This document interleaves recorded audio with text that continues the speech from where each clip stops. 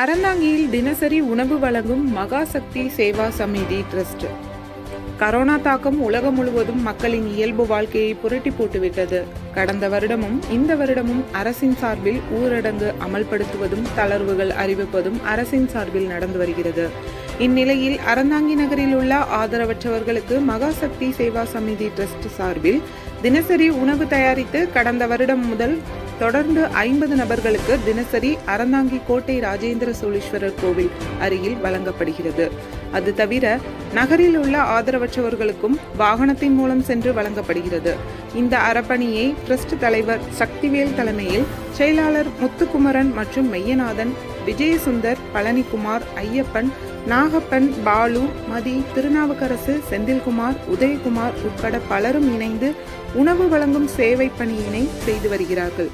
ஹோட்டல்களில் சென்று உணவருந்த முடியாதவர்களுக்கும் இவர்கள் உணவு வழங்கி சேவை செய்துள்ளனர்.